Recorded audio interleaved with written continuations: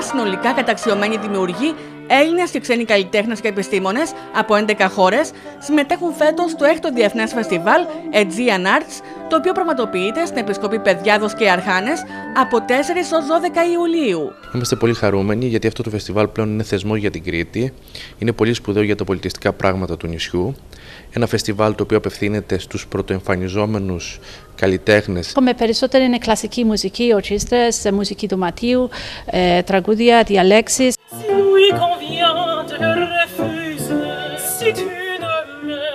Για μία όαση πολιτισμού, η οποία είναι αφιερωμένη στα νέα ταλέντα, έκαναν λόγο οι ομιλητές στη διάρκεια της συνέντευξης τύπου, καλώντας τους πολίτες και επισκέπτες να χαρούν και να απολαύσουν τη τέχνη μέσα από συναυλίες, κονσέρτα, πολιτιστικά δρόμενα και εκθέσεις ζωγραφικής. Έχουμε δημιουργήσει λοιπόν μία γέφυρα ώστε να μπορούν τα, τα πολύ σπουδαία ταλέντα, νέα ταλέντα της νέας γενιάς διεθνώς να έρθουν στην Κρήτη και να, να έχουμε και την ευκαιρία και εμείς οι, οι ντόπιοι να, να παρακολουθούμε πάρα πολύ υψηλές επίπεδου εκδηλώσεις.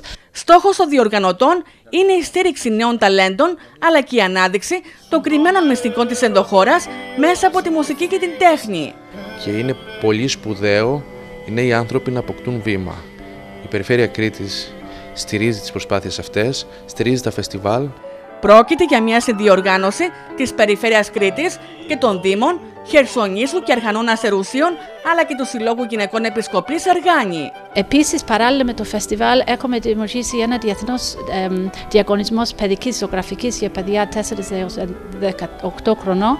Φέτος είχαμε πάνω από χίλιες μεταφορές, οι περισσότερες ατομικέ, αλλά και σχολεία από όλο τον κόσμο.